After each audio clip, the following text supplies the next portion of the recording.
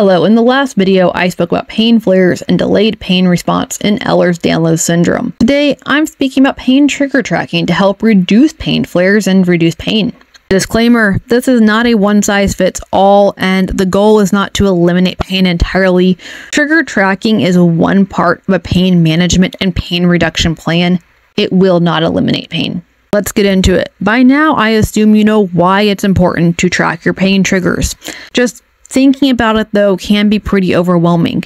What do I track? When do I track? How much detail? Do I have to track? Do I want to track? The last two questions I can't help you with, so I'll uh, try to cover the first three.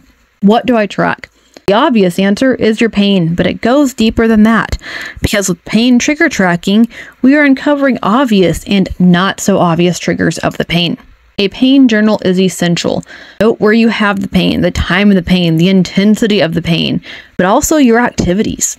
I'll link some apps, journals, and guides I've found in the description below. I haven't used most of them, as I typically am kind of lazy and just note uh, instead of using like pre-made journals and apps, but I've heard they've been very helpful for a lot of people, so definitely something I wanted to include at least in backing up. Other than tracking the pain, the activities throughout the day, tracking those is very helpful.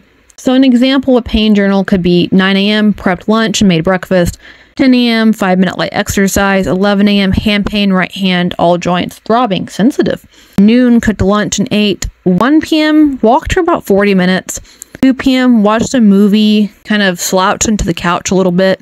3 p.m., hand feeling a little bit better. 4 p.m., hip sublux a couple of times, both hips hurting, throbbing pain, 6 out of 10. 5 p.m., snack, apple. 6 p.m., dinner, had some fast food, wasn't feeling too great.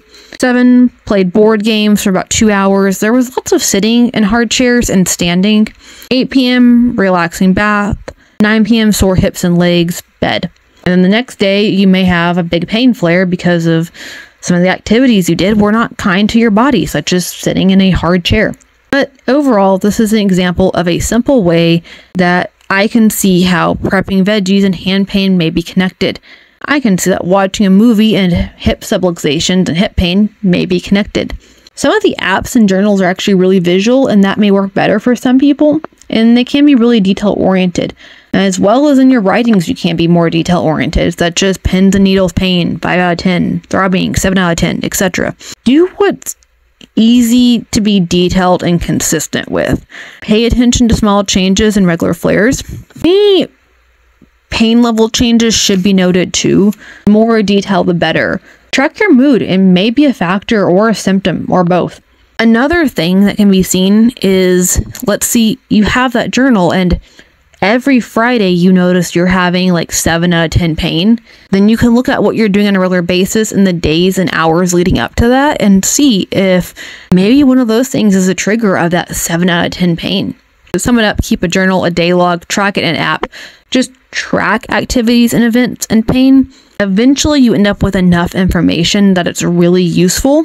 This is also really useful for when you're seeking care from providers. You have this like data. You can say, this is what I'm going through. This is my pain levels I'm experiencing every day. And some of the apps will help you visualize that. You can visualize it yourself. You can make charts, graphs, etc. But just having that information is a lot more useful than saying, I sometimes have really bad pain. You can say, every single time I cut vegetables, I have really bad hand pain. Um, it's just, it's a lot more useful. For more EDS content, subscribe and check out my EDS playlist. Next video will cover patient self-advocacy and then after that, fatigue and EDS, so stay tuned.